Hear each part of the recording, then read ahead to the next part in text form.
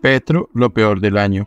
Presidente en el ojo del huracán por promesas incumplidas y un mandato desastroso.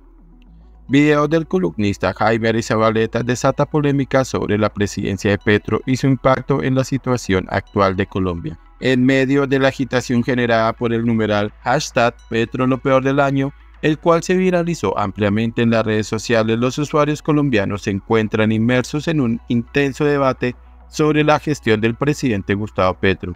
Este fenómeno digital tuvo su inicio en un video publicado por el abogado y columnista Jaime Arizabaleta que, con un tono apasionado y argumentos contundentes, expresó su descontento y preocupación por el actual mandato presidencial. Arizabaleta señaló en un video compartido en X que el presidente Petro ha defraudado a los ciudadanos que depositaron su confianza en él durante las elecciones. Según el columnista, el mandatario en su papel como ex guerrillero, senador y alcalde nunca representó un peligro tan inminente como lo hace ahora, al ostentar la máxima posición en el gobierno colombiano. El letrado cercano al uribismo no escatimó en destacar las amenazas que ha recibido como consecuencia de la presunta responsabilidad del presidente. Uno de los puntos álgidos abordados por Arizabaleta fue la promesa de Petro de construir un tren elevado eléctrico entre Buenaventura y Barranquilla. Este proyecto que inicialmente captó la atención y esperanza de los ciudadanos se convirtió, según el columnista, en una muestra palpable de las propuestas delirantes y fantasiosas del primer mandatario.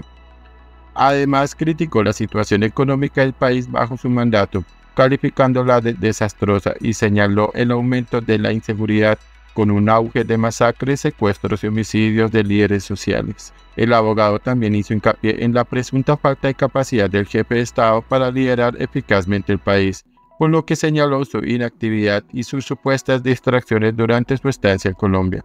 Arizabaleta acusó al presidente de no dedicar tiempo suficiente a capacitarse y centrarse más en sus giras al exterior, convirtiéndose en el presidente más viajero de la historia. Y por eso en todos los estadios del país, en todos los rincones de Colombia le gritan fuera Petro, dijo Arizabaleta en su video. El abogado también reprochó a Petro por ser catalogado como antisemita y por alinearse con líderes como Hamas y Nicolás Maduro.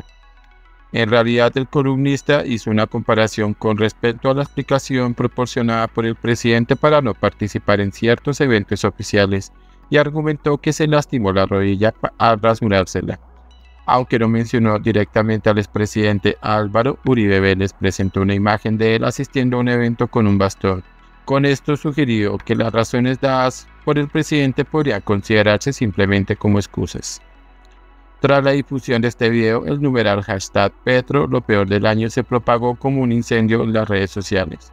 Usuarios de diversas partes del país se sumaron al movimiento en el que expresaron su descontento y compartieron sus razones para considerar al presidente como lo peor del 2023.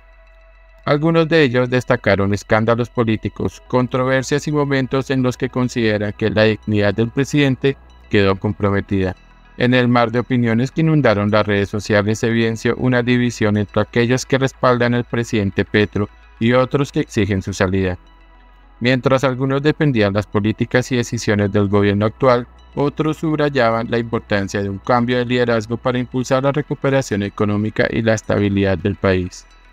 Convirtió el país en potencia de la muerte. Asesinan por no pagar extorsiones. Petro, el peor presidente de Colombia. Potencia mundial de masacres y secuestros. ¿Cómo no va a ser hashtag Petro lo peor del año si su gobierno ha sido una constante en escándalos y desaciertos todos los días, desmoralización de las Fuerzas Armadas, de crecimiento económico del país entrega a la nación a la delincuencia, encarecimiento del costo de vida al ciudadano.